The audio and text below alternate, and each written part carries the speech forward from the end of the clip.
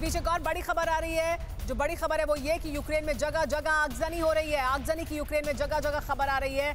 चेनीहीव में एक बिल्डिंग पर रूस ने अटैक किया है। वो जानकारी सामने आई है। कीव की भी दो मंजिला बिल्डिंग आग से खाक हो गई है। तो जगह जगह एयर स्ट्राइक की जा रही है। दो मंजिला बिल्डिंग कीव में जो थी, वो जलकर खाक हो गई है। यूक्रेन में जगह जगह आगजनी की खबर सामने आ रही है। देखिए, तस्वीरें हम आपको दिखा रहे हैं। किस तरह से जगह जगह यूक्रेन में आगजनी हो रही है। कीव की दो मंजिला बिल्डिंग कैसे आग से खाक हो गई, उसकी तस्वीरें भी सामने आई हैं।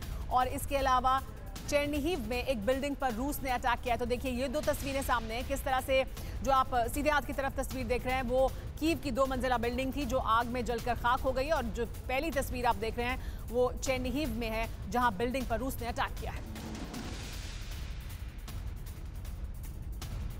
परवाह देश की। सोमवार से शुक्रवार रात 10 बजे टीवी 9 भारतवर्ष पर।